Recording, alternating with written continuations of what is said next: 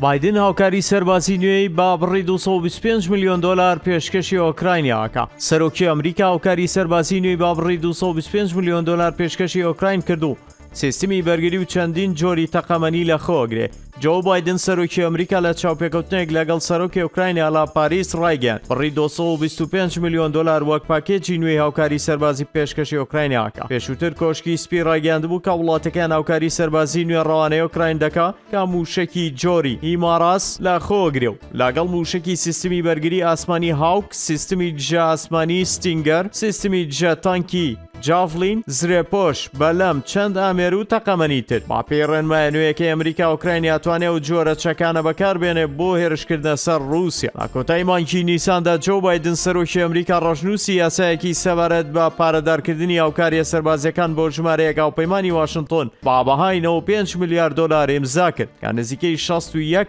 ملیار دۆلاری بۆ ئۆکراینیا تەرخان کردبوو.